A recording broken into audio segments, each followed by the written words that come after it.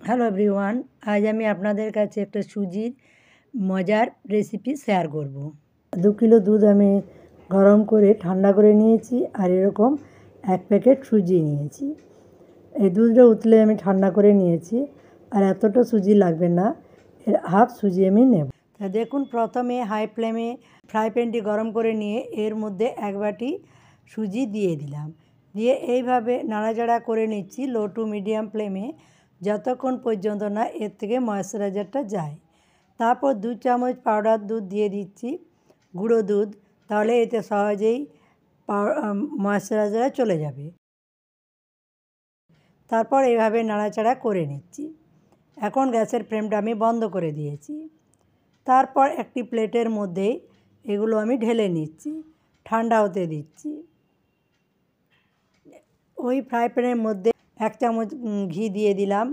এখন ব্যাস, গ্যাসের ফ্লেমটা আমি কমিয়ে রেখেছি লো ফ্লেমে তারপর ঘিটি মেল্ট হওয়ার পর, এর মধ্যে একটা এলাচের দানা, দুটো এলাচের দানা দিয়ে দিলাম।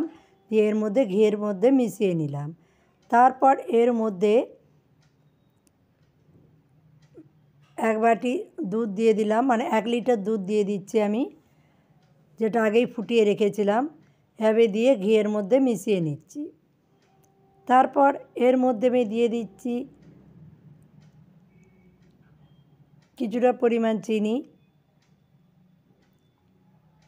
পরিমাণ মতো চিনি দিয়ে দিলাম। দিয়ে এইভাবে নাড়াচাড়া করে মিশিয়ে নিচ্ছি। তারপর আস্তে আস্তে এভাবে নাড়াচাড়া করতে করতে এখন গ্যাসের ফ্লেমটা মিডিয়ামে রেখেছি।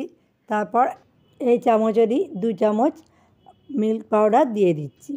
এটা আপনি কমিয়ে বাড়িয়ে দিতে পারেন। দিয়ে এই যে এইভাবে মিশিয়ে নিচ্ছি। যখন এটা ঘন হয়ে আসবে, আবারও এর মধ্যে আমি হাফ চামচ ঘি দিয়ে দিলাম। দিয়ে যখন এটা বেশ কিছুটা ঘন হয়ে আসবে, তারপর এর মধ্যে আমি যে সুজিটা ফ্রাই করে রেখেছিলাম তা আমি অল্প অল্প করে দিয়ে দিচ্ছি।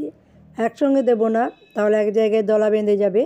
এভাবে দিয়ে দিয়ে বেশ ভালোভাবে নাড়াচাড়া করে নেব। এই যে দেখুন লো ফ্লেমে কিন্তু যখন এটা ফ্রাই প্যান থেকে উঠে আসবে, ততক্ষণ পর্যন্ত আমাকে নাড়াচাড়া করে নিতে হবে। যে দেখুন, ফ্রাই প্যান থেকে উঠে আসছে। তারপর আমি এটা প্লেটের মধ্যে তুলে নিচ্ছি।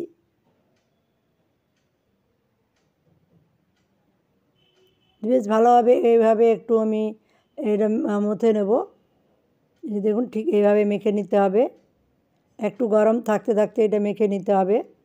না শক্ত হয়ে গেলে আর মসৃণভাবে মাখা যাবে না। যে দেখুন, এইভাবে আস্তে আস্তে মেখে নিচ্ছি। এই যে একটা ডোতে পরিণত হলো, তারপর এর থেকে অল্প অল্প করে নিয়ে একটি করে বল আমি তৈরি করে নেব। আমি এরকম তৈরি করছি, আপনি ছোট বড় করে নিতে পারেন। এগুলো একটু গরম থাকতে থাকতে করলে ভালো হয়, মসৃণ হয় আর কি। যে দেখুন, ঠিক এভাবে আমি তৈরি করে নিচ্ছি। সব কটাই আমি একইভাবে তৈরি করে নেব। এই যে ফিরে এলাম, সব কটা আমার তৈরি হয়ে গেছে। যে দেখুন, অপর দিকে একটি ফ্রাই প্যানে আবারও আমি এক লিটার দুধ নিয়ে নিয়েছি। দিয়ে এইভাবে আমি কিছুক্ষণের জন্য জাল দিয়ে নেব।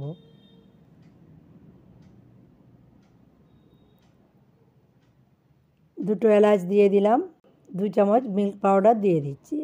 এতে দুধটা তাড়াতাড়ি ঘন হয়ে আসবে।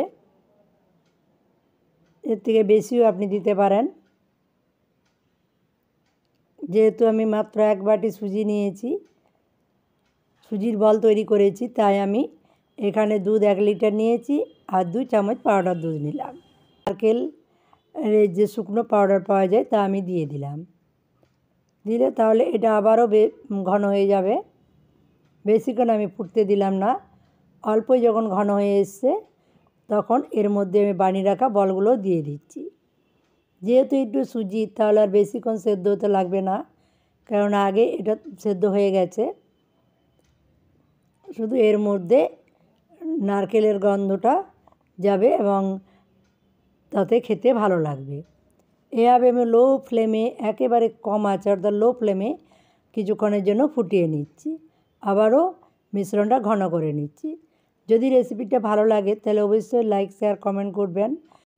তাহলে আজকে আসি, আবারও কোনো রেসিপি নিয়ে আপনাদের সঙ্গে দেখা হবে। নমস্কার, সুস্থ থাকবেন, ভালো থাকবেন।